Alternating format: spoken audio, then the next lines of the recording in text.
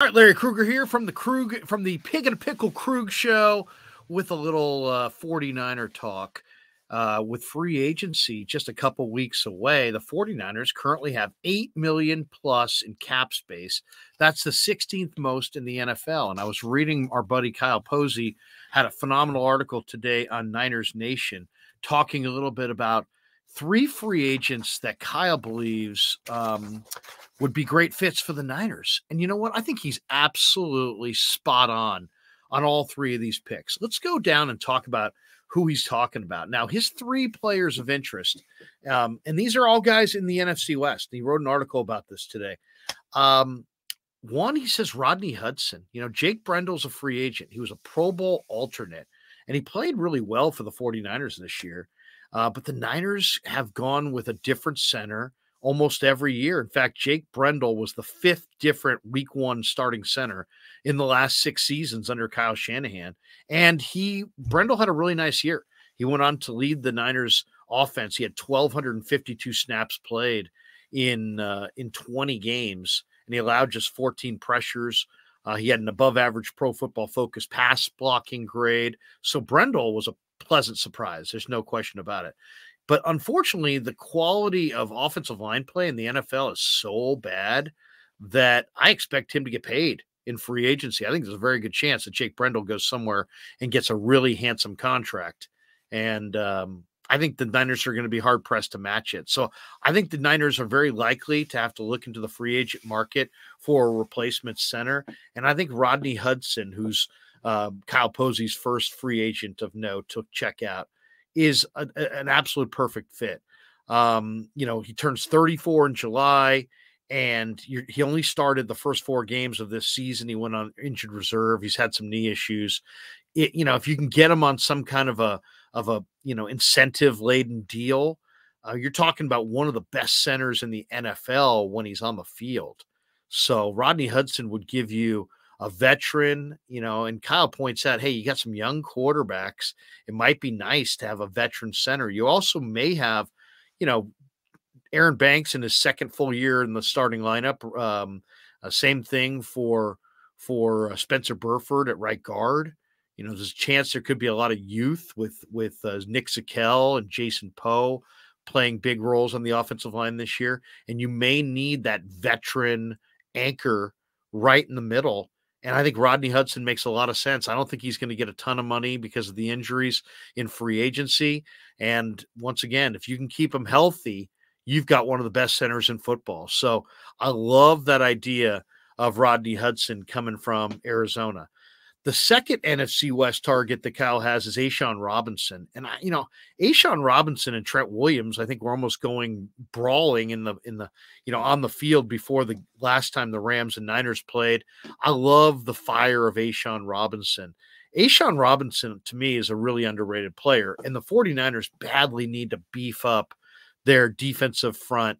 Um, you know, next to Arik Armstead. Armstead is phenomenal, but man, you could use a big bodied guy or two next to him up front.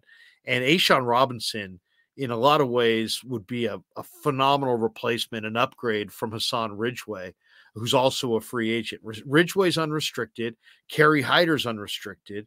Akeem Spence, T.Y. McGill, Michael Dwumfour, uh, and Kevin Givens are all re- restricted free agents. So the Niners are kind of naked on the front line, and A'Shawn Robinson is a beast. He plays incredibly hard. He's 330 pounds. He's a phenomenal run stopper. To me, A'Shawn Robinson might have been the key guy in the Rams' win over the 49ers in the NFC Championship game. Now, Aaron Donald got the key sack that, you know, that I believe ended things in the Super Bowl, but A'Shawn Robinson against the Niners was just almost impossible to block. He made so many plays. And you're talking about a guy who is probably not going to cost that much in free agency. Um, you know, Kyle thinks he might require only a minimum salary, a veteran's minimum. I think he'll get more than that, to be honest. But A'Shawn Robinson at 330 pounds next to Armstead, I like the combination of anchor against the run. He does not get pushed around, but he also gives you something as a pass rusher, and you'd be taking him away from the Rams. Um, and I really like the the motor on A'Shawn Robinson. This guy plays hard. So I like guys who are all in emotionally, mentally, physically, and this guy fits that description. And to me, if you can take a key cog off the Rams defensive front and put them on your front, that's like almost a double win. So I love the idea that uh, Kyle Posey has of of the Niners going after A'Shawn Robinson. All right, let's get to the third guy because I love this one as well. I have thrown out a couple different scenarios at defensive tackle. Obviously, the A the A team is Daron Payne, right? If you can get Daron Payne 12 and a half sacks, great pass rusher, really strong against the run. I mean, he is the guy. He and he's going to get paid a ton of money.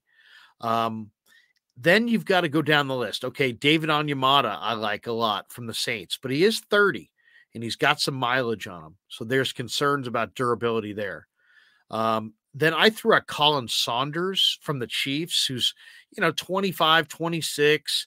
He's six feet, 325 pounds, really athletic, does backflips, um, very strong at the point of attack, gives you a little bit more pass rush than Kinlaw has to this point.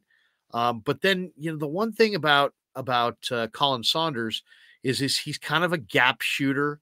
He's kind of a one. He's kind of a even though he's thick, He's kind of a one gap penetrator. He doesn't necessarily anchor uh, against the run as much as you would think a guy that's six feet, 325 pounds would.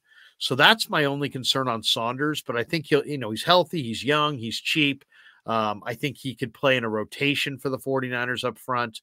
And I really like that addition. But if you're looking for that anchor piece, and let's be honest, this team lost DJ Jones to Denver and they have not been the same without DJ Jones. Jones plugged up the A gap. He was totally immovable. He gave you a little bit as a pass rusher, but what he was absolutely known for was just being dominant at the point of attack against the run. And to me, this third name that Kyle throws out is also that kind of player, and it's Poona Ford of the Seattle Seahawks. Now, I've loved Poona Ford going back to when he was playing for the Texas Longhorns. And – he's 5'10, 5'11, but he's about 5'10, 5'11, 315 to 320 pounds. And he's an athlete, uh, very athletic player. And I think he, as Kyle points out, he can do, he can run the stunt game um, stuff inside that Kris likes to do, Kris Kocurek likes to do. He's definitely durable. He can play the run. He can anchor against the run. Um, this guy, you know, he he there's he's really a tremendous football player. He's just short. You know, he he sniffs out screens. He's very aware. Uh, he's got great strength to hold up against combo blocks. Um, he likes to play football. I mean, the one thing about Poona, he doesn't miss a lot of games. Go check his football card. The guy plays. He just turned 27. And I love the idea of a Poona Ford, Arik Armstead uh, defensive front for the 49ers. So he's going Rodney Hudson, A'Shawn Robinson, Poona Ford. Now, to me, the 49ers have other needs, right? They've got to they've got to find an offensive tackle. They've got to figure out the secondary. They probably need another safety. They definitely need another corner.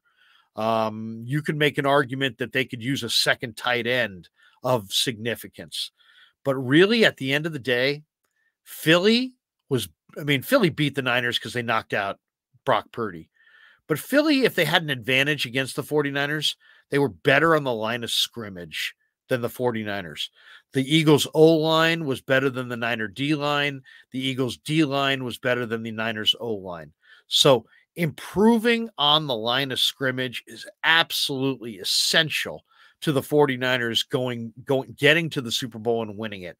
If they want that six Lombardi, they're going to have to beef up on the line of scrimmage. And I love Kyle's idea here, Kyle Posey's idea of Rodney Hudson, A'Shawn Robinson, and Poona Ford. In fact, if the 49ers could go into the free agent market and come away with Rodney Hudson, A'Shawn Robinson, and Poona Ford, I would feel great about their chances of building a championship caliber club the rest of the year with street free agents and draft picks. So um, I love the idea. I, you know, check out Kyle Posey. I can't give him enough love in Niners Nation. They do a great job, and Kyle's awesome.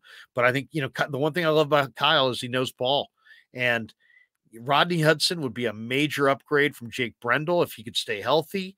Uh, A'Shawn Robinson would just be phenomenal to take away from the Rams, and I would love to see uh, his big frame on that 49er defensive front. I think he could even be a situational rusher and give you um, a guy who's solid against the run.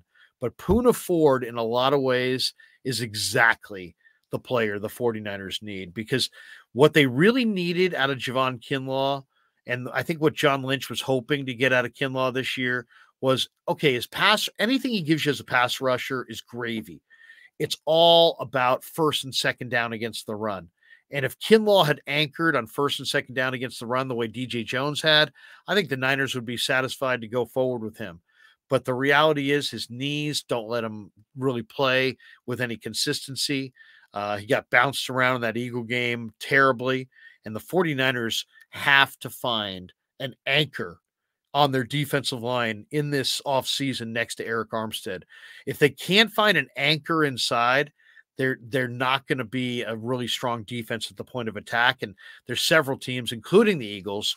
Um, you know, you think of the best teams in football. You think of the Eagles and the Chiefs. The Eagles have have th- a three headed monster with Miles Sanders, and the Eagles have or the Chiefs have Isaiah Pacheco and Clyde Edwards Helaire. So you you better be able to stop the run up the middle. And if you could land a Poona Ford and put him opposite Arik Armstead, wow. I think you've done some great things there going into the draft. So, hope you enjoyed the video. Larry Krueger, once again for the Pig and a Pickle Krueg Show.